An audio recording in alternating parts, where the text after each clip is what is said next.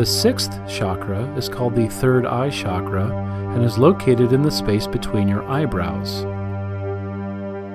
This chakra is associated with the color indigo, a deep blue or purple. This chakra is associated with thought, insight, and intuition.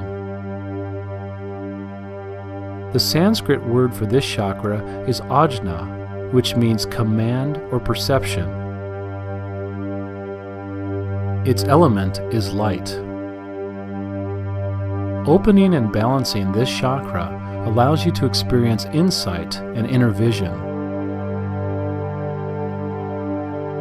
So now take a deep breath in from the very top of your head and see this brilliant white light traveling into your third eye chakra. See the white light combining with the brilliant indigo chakra and energizing it. Picture this indigo sphere of light slowly turning and glowing. As you take each breath in and mentally send this energy to your third eye chakra, it begins to grow, to turn, and become a vibrant indigo color. For the next few moments, breathe in through your energetic spine and fill your sixth chakra with a vibrant indigo color. Silently repeat the mantra, I am light and feel yourself as a being of magnificent light. Feel this light growing and expanding. I am light. I am light. Visualize the deep indigo color of the sixth chakra and repeat the mantra, I am